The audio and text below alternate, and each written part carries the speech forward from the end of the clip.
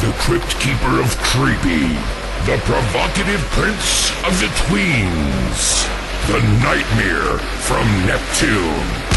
It's Zabujard!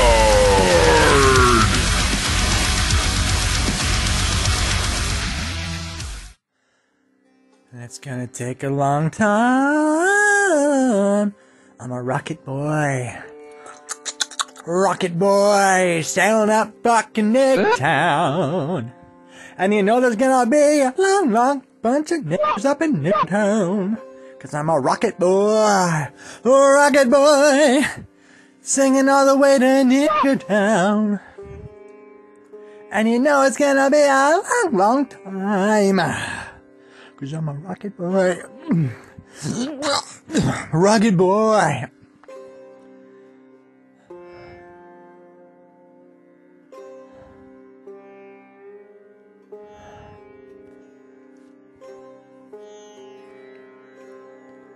Don't. Don't end up like me. Don't you end up like me.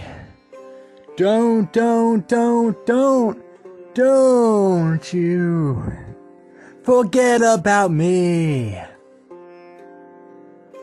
Oh, it's too late for me. If you're thinking about me, praying about me, it's too late. I'm pushing 40. I'm 32 years old. I'm almost 40 years old. Basically, at the life at the noose end of my noose end rope because I'm almost pushing 40 and I'm 32 years old. It's too late for me. I'm too old. I'm over the hatchet. I'm over the hill. It's too and it's too late for a rocket boy. So don't you forget about Rocket Boy. And uh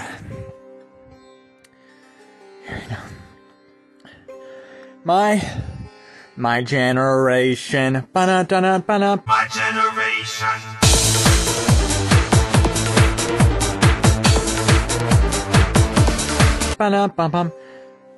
My generation,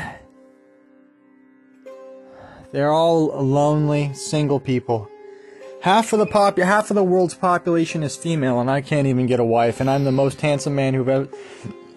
Then I'm the most handsome boy who's ever lived, and that's a fact. You can see that on my Wikipedia page if you go on wikipedia.com/slash It will say I was, I am, sorry, the most handsome uh, man, boy who's ever lived on my Wikipedia page, and guess what? I'm single. I've always been single, and um, I uh, I'm still not married. And half of the world's population, you can look this up, about 51% or no, maybe 49%, close to 50% is actually female, and I'm actually male, and I still can't find a wife. Now let's narrow that down to English speakers. And uh, what percent of the world speaks English? probably like 50%. I don't know. 50 let's say 50%. So that's 25% of the world is women and I still can't find a wife. Now let's narrow that down to people who are in with me, within my age range, my age group. You know, I'm not going to go after G MILFs. I'm not going after 40 year old plus women. Or I don't even like going after 35 or 33. I don't even want to go after women who are older than me, to be honest. That just grosses me out and creeps me out. So let's narrow it down to the age range of women, let's say between 24 and 32. Now, what age, what range of the world's population is that age? Let's narrow that 25% down and we'll see that's about 15, 15%.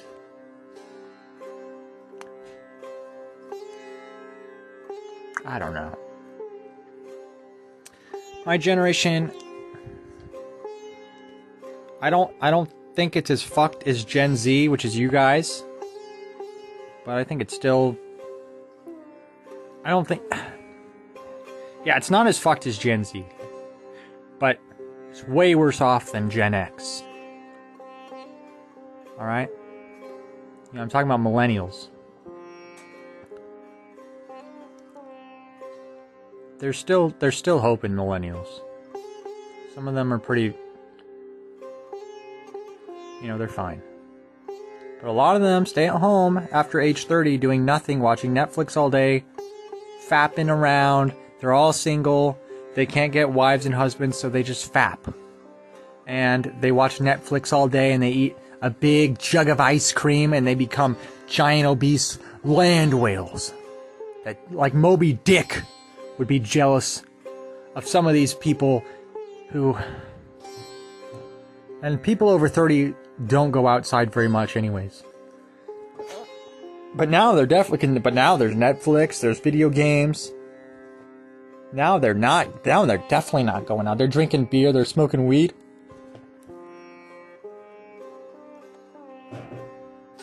What am I? What am I doing? I'm at home. I had food poisoning diarrhea again, probably from something in my diet this morning. A bunch of bad diarrhea today, food poisoning, whatever it is. I'm on a downward trajectory. Say that 69 times fast. Downward trajectory, downward trajectory, downward trajectory, downward trajectory, downward trajectory, downward. Trajectory It's tough. Until you start being on an upward uh, trajectory, which is a new word I invented, which is kind of like a, it's kind of like a differentiation on the word trajectory. It's actually trajectory, and um, you can look that up. People my age don't have wives, four husbands. A lot of them are single. A lot of people right now are single, and their girlfriend is their their computer or their screen or their Netflix account or their uh, video game controller or their um, dragon black uh, black dragon dildo or whatever it is, and their or their jug of ice cream, and a lot of people my age are single right now. Nobody's getting married. Nobody's having kids. Some people are. The lucky ones in quotation marks. Happy couples make me sick. Just kidding around, guys. Or am I? Happy couples make me sick! I said it twice. I said it twice. And, um, so there you go. There it was. And uh, I mean, yeah. So there you go. So I think maybe I maybe I would be a happier person if I was in a couple. You never know. Maybe I would be. Maybe maybe I'd have someone else to hang out with. You know what? I've tried everything. I've tried. I bought circus stilts. I've tried making cartoons for over a decade. I've tried uh, jerking around. I've tried um, video games. I've tried uh, sugar soda addiction and ice cream and um, I've tried uh, push-ups and showers and baths. I even tried baths this year. I've been taking some baths this year. Not kidding. And showering every day now, just because it's the only thing that feels good anymore. And I've tried, you know, whips and trips and slips. I've tried drinking beer. I've tried, um, um, I haven't tried cigarettes, but I'm considering it. Becoming a cigarette addict just just to fucking do something. Just to have something to, to do and look forward to. I'm praying every day. I'm praying every day. Nobody else is doing that, and still my life is cringe. And um, still no wife in sight at all. And um, video games are boring. Anime is kind of boring sometimes. TV is kind of boring. Movies are kind of boring. Like this realm is and world is boring. I'm not studying the Jewish stuff enough as I should be. And um, it was the Sabbath on Friday, by the way. And uh, uh, I just bought some KFC. It's the first thing I've eaten all day because I had food poisoning and stuff. So I wanted something tasty, and uh, I did some exercise today at the park. That was I walked on the grass, barefoot on the grass for an hour, whatever. That was cool, I guess. I've been thinking about setting up a wooden um, monkey bar uh, spider's nest web system throughout my room. So instead of walking through my room, I can maybe just play on the monkey bars all day in my room like a spider creature. Become becoming some sort of a cum goblin in a cum cave with a spider nest web set up in my own room, so that I can crawl around like a spider all day on the ceiling and uh, through the room space area.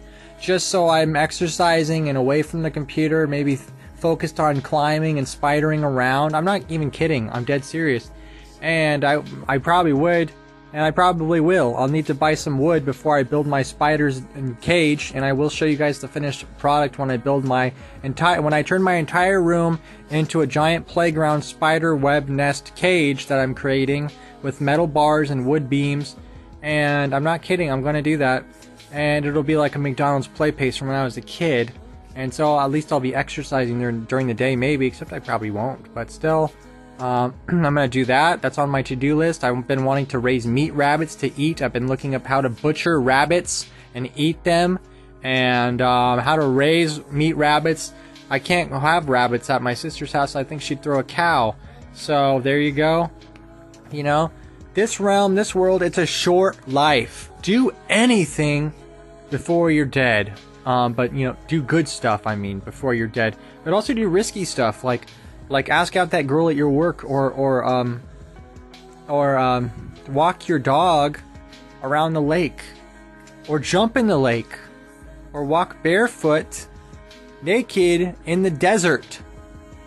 You know, drive naked, shower naked, get in a plane naked, um, jump up and down to metal music paint swastikas on your chest, your back, your walls. Life's too short. Take a sledgehammer. No, I'm not going to finish that one. But, you know, just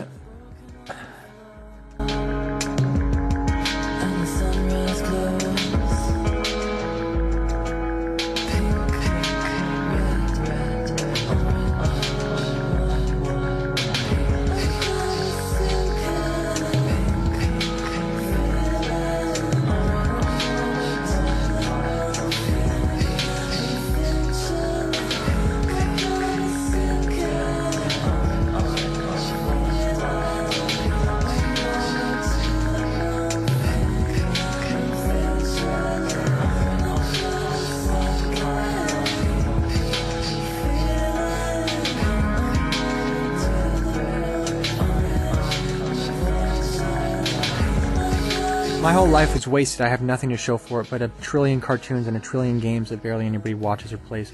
And uh, I, I'm not, I don't think I'm happy living here alone by myself most of the time. And I don't think I'm happy here. And I don't know what to do.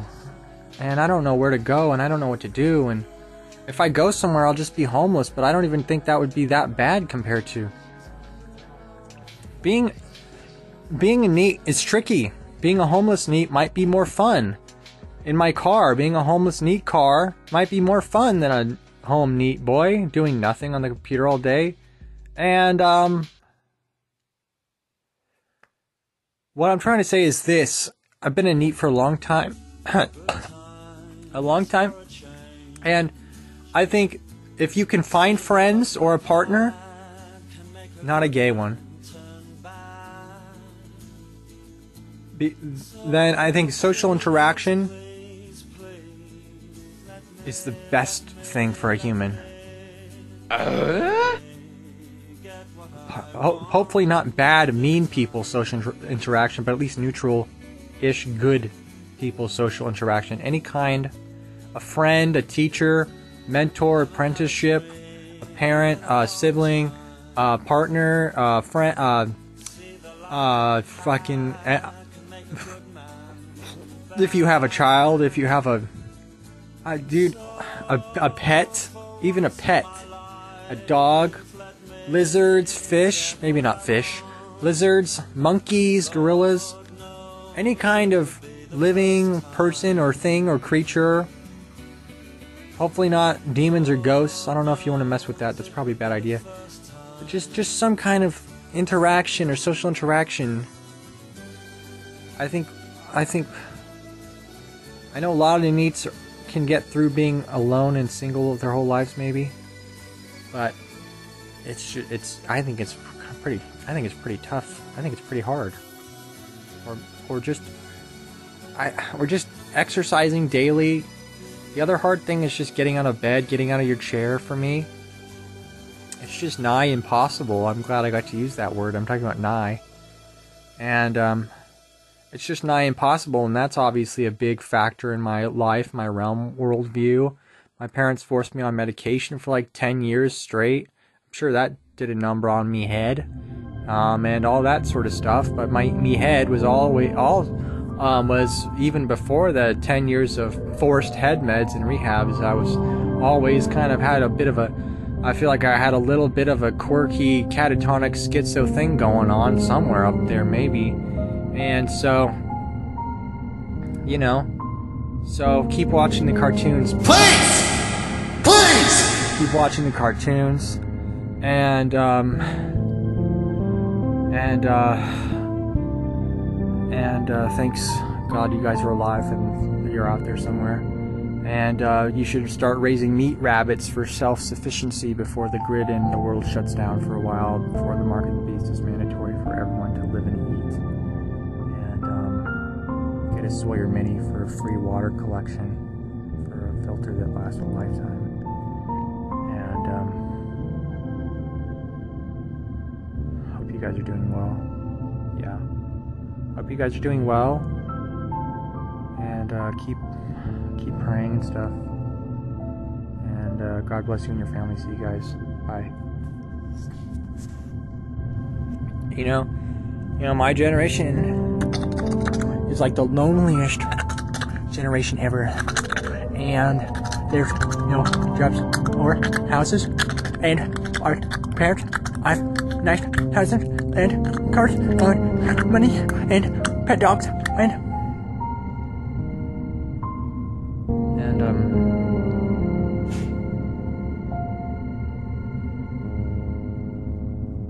just I should be we should be in a Amish commune. We'd be happier and healthier. We'd be in the sun more.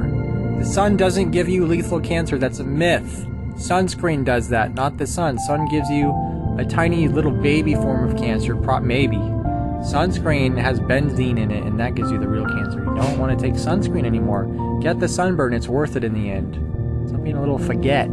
My generation is also the faggotiest generation because pride movement and stuff. And then the Gen Z, now they're on screens their whole lives. They're going to be even more effed up than this podcast you're listening to right now. You think that's bad? To quote Peter Griffin. You think that's bad? You think that's bad? I can't do Peter. I can't. Hey, Lois. Uh, hey, hey, Lois. You think that's bad? Wait till you see how fucked up Gen Z is from being on a screen 24-7 since they were two, two years old or in the, probably in the womb. You think this podcast is a little, a little out there? You haven't seen anything. Wait until you see them grow up. I'm talking about an entire gen of mall slash school bangers, gunners, and um, because they've been playing video games where that's well, uh, level one, gun up, let's go. You know, level two, gun up the mall. You know, level three, gun up the church. You know, that's all they play on Call of Booty, and it, it is a booty call. And um, uh, dude, you know, this could be the end of the world. I know I've been saying that for a long time, but lately I've been feeling like maybe it isn't. Because maybe that's just a meme. Um, a Christian meme, where the end of the world is always today, and is always tomorrow, and yesterday. Um, I don't, I don't even think I'm really Christian anymore, really. But I, I could see the world going on, maybe, but it would be totally different and destroyed. But that might be for the best. What this world really needs is you know, it, it needs revolutions um, against people's governments.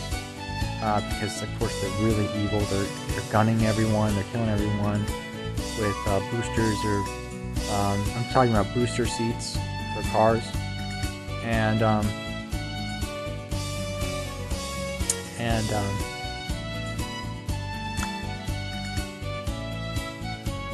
the two party system is fake and gay. And everything everything on the TV. I mean everything. The news, Seinfeld, anything you can think of. Political debates, movies, documentaries. This world is entirely gay, fad, fucking fake. And so it needs a revolution. It needs my Lishas, if you spell that word out. And um, everyone's too lazy to do one, or a lot of people are. And so the world will stay evil and corrupt and the same until people literally, I'm talking about like French Revolution style, what people did back then. If you believe history books, which I don't, but you get the gist. Jizzed. You get the gist. And, uh, yeah. Okay, bye. Another thing. Fans are whirring. Circuits in overdrive. No thrill. just heat. Wished for a gaming rig. Budget's holding tight. Screen flickers, relax. Lagging limbs amputated, but untechnologized. Ah.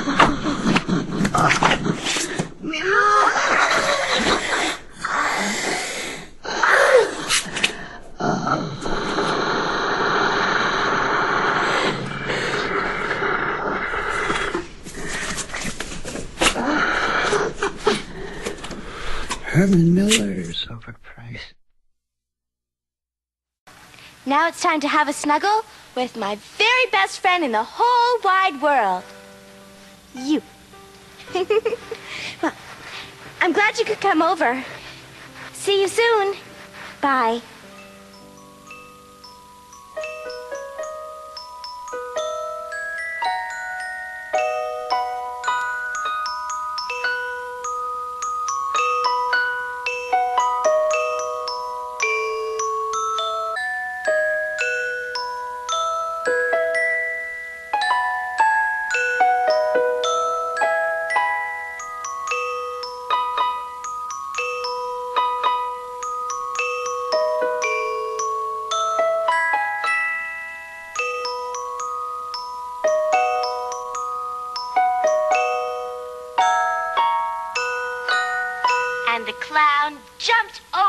And